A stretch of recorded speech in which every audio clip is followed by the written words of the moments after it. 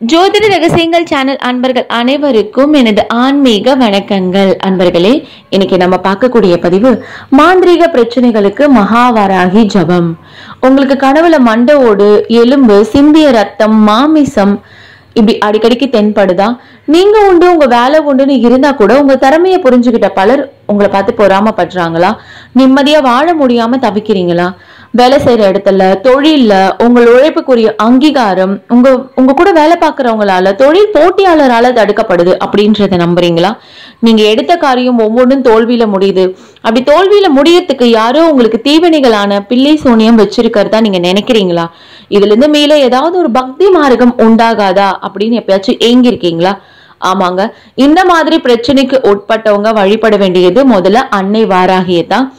சக்தி வழிபாட்டுல சர்வசக்தி வாய்ந்ததும் மிகவும் எளிமையானதுமாக இருப்பது வாராகி வழிபாடுதான் அசைவம் சாப்பிட்றத நிறுத்திட்டு மது அருந்துவதை கைவிட்டுட்டு அன்னை அரசாலையே சரணடையுங்கள். அவள் உங்களை பில்லி ஏவலில் இருந்து இப்பிறவி முழுவதும் காப்பாற்றுவாள். அரசாலை அப்படின்றது அன்னை வாராகியின் ஆயிரத்தெட்டு பேர்கள்ல ஒண்ணு.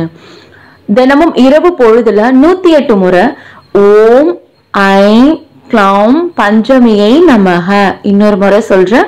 ஓம் ஐம் க்ளௌம் பஞ்சமியை நமக அப்படின்னு எழுதணும். இல்லைன்னா ஒரு மணி நேரம் வர நீங்க ஜபிக்கலாம்.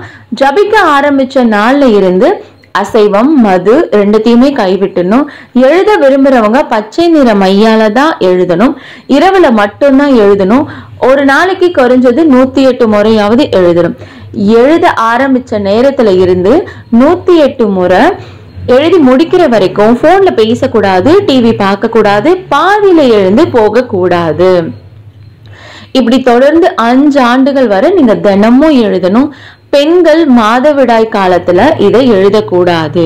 இரவு ஏழு மணிலிருந்து ஒன்பது மணி வரை உங்க ஊர்ல இருக்கும் பழமையான சிவாலயத்துல அம்பாள் சன்னதி இருக்கும் இருக்கிற பகுதியில உட்காந்து நீங்க ஜபிச்சுட்டு வரலாம். அப்படி ஜபிக்கும் போது கொட்டாவி வந்தா உங்க உடல்ல தங்கி இருக்க தீய சக்திகள் வெளியேறுது அப்படின்றது அர்த்தங்க.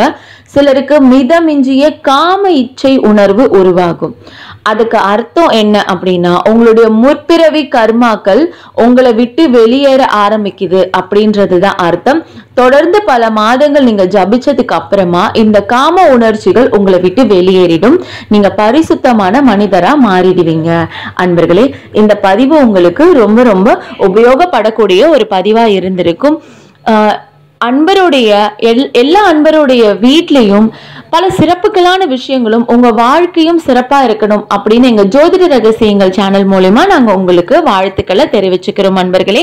இந்த வீடியோ பிடிச்சிருந்ததுன்னா லைக் பண்ணுங்க ஷேர் பண்ணுங்க கமெண்ட் பாக்ஸ்ல கமெண்ட் பண்ணுங்க. நம்ம சேனலை மறக்காம சப்ஸ்கிரைப் பண்ணுங்க. இந்த மாதிரியான பயனளிக்கக்கூடிய பதிவுகள் தொடர்ந்து வந்துட்டே இருக்கும்.